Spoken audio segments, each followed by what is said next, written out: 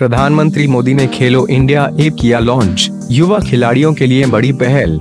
प्रधानमंत्री नरेंद्र मोदी, पीएम मोदी ने बुधवार को नेशनल यूथ पार्लियामेंट फेस्टिवल 2019 के दौरान दिल्ली के विज्ञान भवन में Khelo India app Khelo India app launch किया।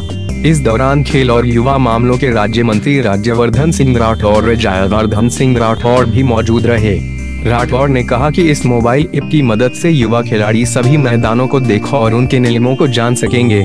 वे इससे अपना फिटनेस भी चेक कर सकेंगे।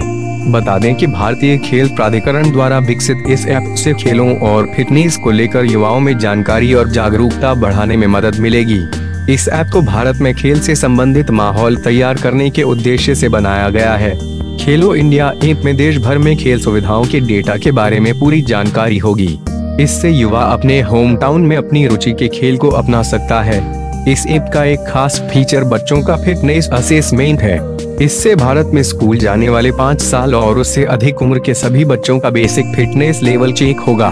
Khelo India app play store से डाउनलोड किया जा सकता है।